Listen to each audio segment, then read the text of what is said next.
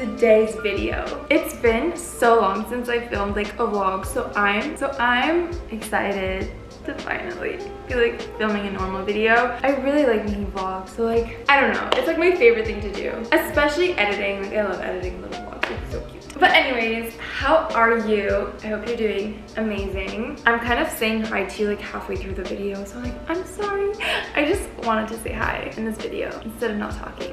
Okay, it's a Sunday and I'm officially like in school doing things, being busy, which I hate but it's fine, it's fine. I try to take it easy on Sundays and kind of like set myself up for the week. So that's what I've been doing today, that's what I'm gonna do, and that's what the vlog is. So here we are. Right now, I'm like, I got this really cute little planner. It's just so cute, like, I, I love it, I love it. Problem in it is that it doesn't have lines and I only write on lines. Like, you know, like the paper, like I need, I need it to be lines. More specifically, like I love it when it's, what's it called? Like grid paper. I, I don't know, why, I love writing on, not grid, it's like the, the like, little cube paper, whatever.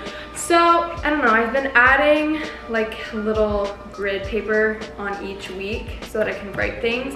And it's, and I use like this cute tape to like tape on the paper.